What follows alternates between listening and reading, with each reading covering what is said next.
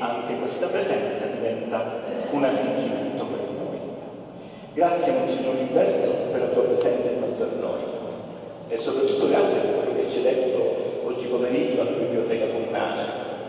Certamente un dono prezioso quello che ci hai detto, dobbiamo fare conto naturalmente con le nostre realtà sempre tutto quello che si dice si può pienamente realizzare, però diventa uno stimolo, una provocazione per poter migliorare in qualcosa che magari eh, viviamo in maniera a volte distratta, superficiale, per cui un grande stimolo, una grande provocazione per le mamme, ma per tutti coloro che hanno partecipato e ascoltato.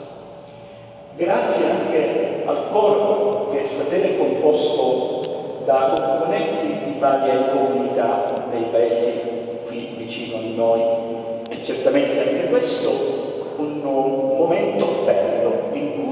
vogliamo ancora una volta sottolineare l'importanza di fare chiesa, di fare comunione.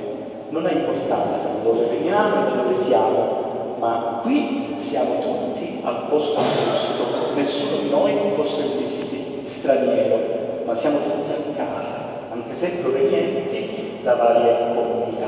Questo è il bel segno di comunione.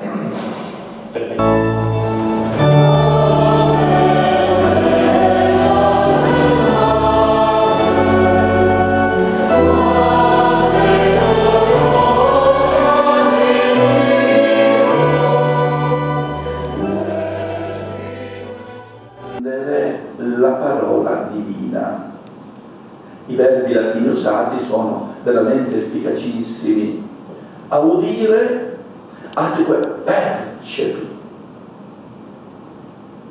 Non solo ascolto, ma io quel percepi lo definisco anche visione. Cioè la musica che diventa visibilità del mistero che si sta celebrando e quindi immersione nel mistero celebrato da parte di chi vuole celebrare